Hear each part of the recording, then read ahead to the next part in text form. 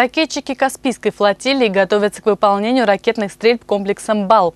Личный состав берегового ракетного дивизиона КФЛ начал подготовку к предстоящим в 2014 году учениям. Личный состав батареи управления повышает свои навыки выполнения задач по обнаружению надводных целей, выдаче целеуказаний и подготовке комплекса к нанесению ракетных ударов в различных условиях обстановки. Личный состав транспортно-погрузочных машин тренируется в доставке и погрузке боекомплекта на пусковые установки. Комплекс «Бал», напомним, поступил на вооружение береговых войск КФЛ в конце 2012 года и пока флотилия является единственным объединением в российском военно-морском флоте, на вооружении которого стоит данный ракетный комплекс. Он предназначен предназначен для контроля территориальных вод и проливных зон, защиты военно-морских баз, береговых объектов, инфраструктуры побережья на десантно-опасных направлениях.